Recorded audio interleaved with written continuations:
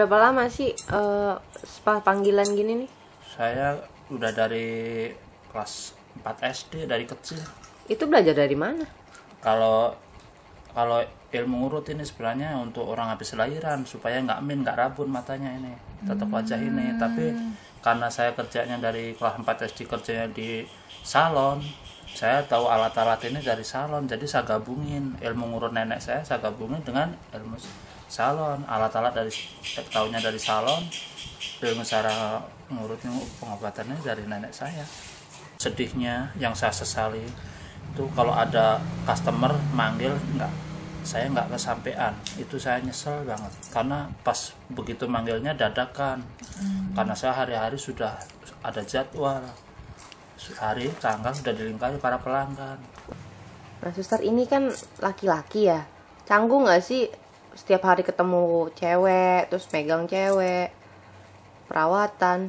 oh saya nggak ada risih nggak ada apa karena saya jiwa saya udah secara fisik saya karena beragama penganut agama Islam saya laki-laki tetap laki-laki tapi hanya sebatas penjiwaan saya jiwa saya berjiwa wanita dalam arti eh, sehari-hari kita untuk mengabdi kaum ibu insya Allah nanti pahalanya mengalir sana ke ibu saya ke sana ke Jawa sana saya sudah membuktikan dari cita-cita saya dari kecil dari kelas 4 SD ingin berangkat ibadah haji saya. Pokoknya saya nanti besar nanti saya insya Allah harus bisa memberangkatkan haji ibu saya. Saya yakin tuh Allah itu yang menggerakkan langit dan bumi seisinya. Insya Allah Allah menggerakkan pula roh jasad ibu saya untuk ibadah haji ke tanah suci. Tapi alhamdulillah kesampaian puluh jadi itu berkat doanya para anak SMP SPG Matahari orang banyak ngurut apa itu kayak begini nih setiap begini minta doanya minta doanya ibu-ibu minta doanya anak-anak SMP itu doanya terkabul tuh sampai sekarang. Sejak kapan sih tahu kalau misalkan jiwanya ini perempuan, terus bisa ngambil ini jadi profesi? dari kecil saya mah dari kelas 4 SD saya mah hari-hari waktu saya nggak ada istilahnya pemikiran. Hari-hari waktunya pemikiran saya hanya bagaimana supaya saya bisa menyekolahkan adik-adik saya bisa bantu orang tua gitu. Tapi ya keadaan saya sekarang karena terbiasa sudah nggak asing lagi. Kalau ibu sendiri tahu nggak kalau misalkan jiwanya suster ini perempuan? Kalau orang tua nggak tahu nggak boleh. Jadi kita beri kabar itu sama orang tua itu yang baik-baik. Kali ini jiwa saya perempuan begini maksudnya misinya hidupin untuk mengabdi kaum ibu Setiap hari berapa pasien?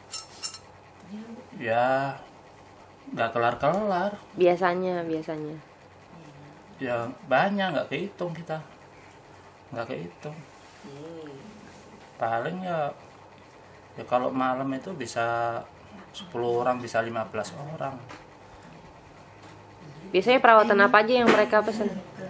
Keluhannya nggak sama yang satu keluhannya totok wajah begini perawatan jerawatan Nggak Ya. biasanya yang ditawarkan tuh eh, suster tuh bisa merawat untuk kecantikan apa aja. nah kita kecantikan ya semuanya dari ujung kepala sampai kaki semuanya bersih Eh, maksud saya cantik itu bersih sehat Untuk kenal sama orang baru itu kan susah, apalagi nawarin paket kayak gini kan, paket perawatan gini. Mulai dari mana sih sampai orang-orang bisa kenal, bisa tahu, bisa manggil, bisa telepon?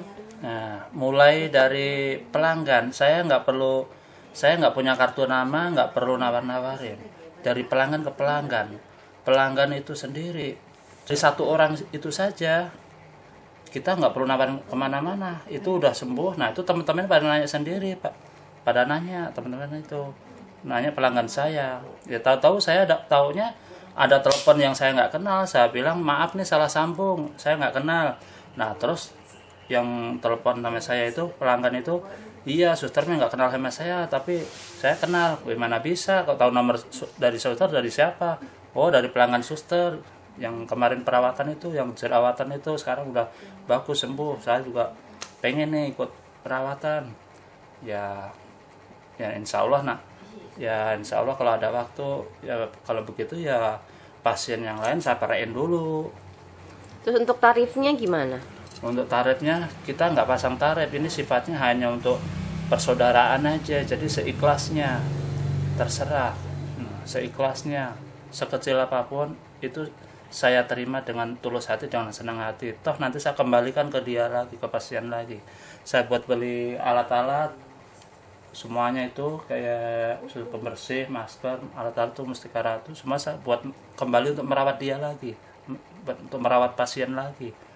Saya gratis. Kalau masalah rezeki, insya Allah saya ada deh kita buru-buru nyuci dari SPG SPG itu anak-anak SPG SPG itu yang pada kerja di mall itu kita buru nyuci pakaian juga.